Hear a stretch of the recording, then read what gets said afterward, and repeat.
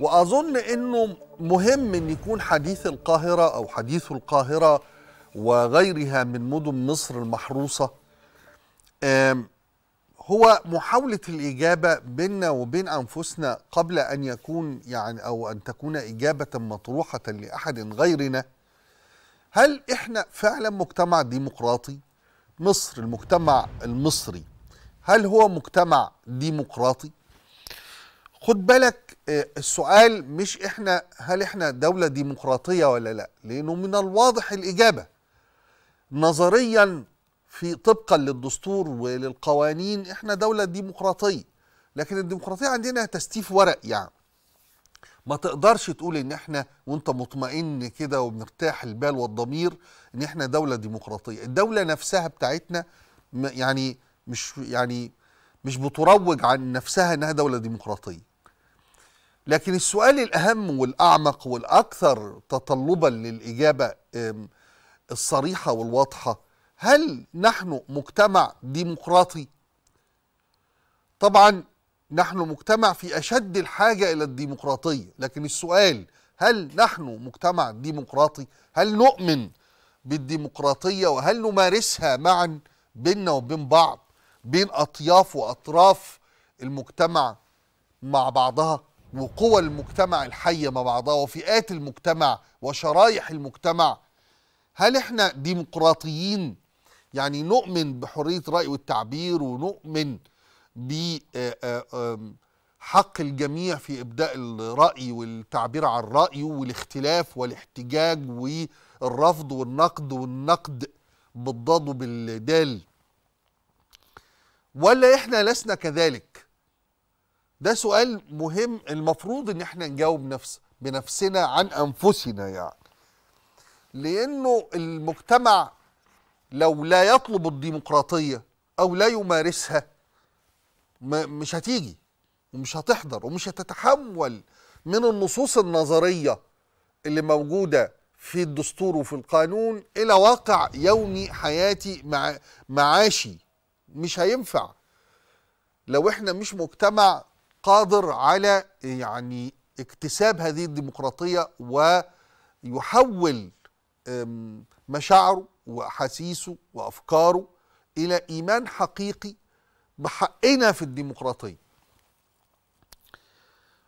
و... وأنا عارف إن سمعة الديمقراطية سيئة شوية اليومين دول يعني خصوصا ما بعد 25 يناير. والعالم كله نفسه بيطرح أسئلة تبدو غرائبية جدا إنها تطرح سنة آه، 2021 الحقبة الثالثة في القرن الثالث في الألفية الثالثة ناس بيتكلموا عن آه، آه، آه، هل الديمقراطية آه، يعني شيء عظيم وصالح ولا آه، آه، خلاص آه، نظام يتآكل و وبقى في نزعة استبدادية في العالم؟ كلام هذا مطروح في العالم كله. لكن خليني فعلا يعني أتحول إلى المجتمع المصري وأحاول أن نتكاشف معا بالحقيقة وندور على جذر الحكاية. أنتوا فاكرين طبعا آه، آه، السيد عمر سليمان لما سئل مرة في أظن قناة سي ان ان حول من قرابة عشرة أعوام أو يزيد أو يقل قليلا لا يزيد آه، عن المجتمع المصري أو الشعب المصري آه، يعني مهيأ للديمقراطية فقام قايل إنه طبعا بس هو إمتى؟ يعني اللي هو من حقه إنه يبقى فيه ديمقراطية لكن إمتى تبقى فيه ديمقراطية؟ وين؟ وين؟ وين؟ برضو السيد أحمد نظيف دكتور أحمد نظيف لما سئل آه، آه، بعد انتخابات آه، نيابية يعني شهيرة في مصر في 2005 فقال لهم إنه المجتمع المصري غير ناضج لسه علشان يعمل الديمقراطية. آه، هو أنا أقدر أقول لك إنه غير ناضج فعلا. لكن هل معنى أو يعني أقبل إنك تقول وجهة النظر دي؟ من حق أي حد يقول يعني. إنما ويقول وجهة نظر وفي ناس بتتكلم على أصل المجتمع يبقى ديمقراطي إزاي مع نسبة أمية وناس تاني يقولوا أصل يعني كل واحد له طريقته في توصيف الموقف. لكن حتى لو سلمنا ب إنه مجتمع غير ناضج ديمقراطيا فده يستدعي تطبيق الديمقراطية فورا. لأنه مفيش نضج نظري برضه. يعني أصل إحنا نعملها على الورق وبعدين بقى لما ننضج إحنا مع بعض نبقى ننفذها. يعني مفيش كده. لكن برضو مرة أخرى خليني أسأل السؤال من الأول شوية. وهو هل عشنا يوما ما كمجتمع ديمقراطي في دولة ديمقراطية في مصر زمن ديمقراطي. الإجابة لا بس عشان المسألة تبقى واضحة.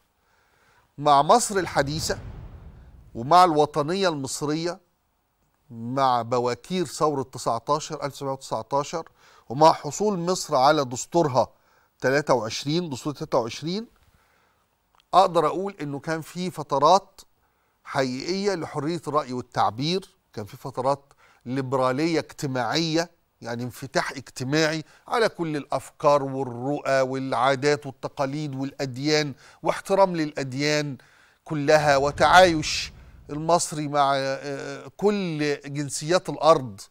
كان في كتاب جميل مترجمه المركز القومي للترجمة اسمه الكيلومتر الذهبي أو الكيلومتر الذهبي. كيلو متر ألف متر. في باب اللوق الكتاب ده عن ألف متر في باب اللوق كانت تضم ال- الألف متر كان يضم الكيلو ده أكتر من 30 جنسية. كل جنسيات الأرض تقريبا عايشين في مصر فترة الثلاثينات والأربعينيات وشوية من الخمسينيات يمكن يمكن أول سنتين في الخمسينيات تقريبا.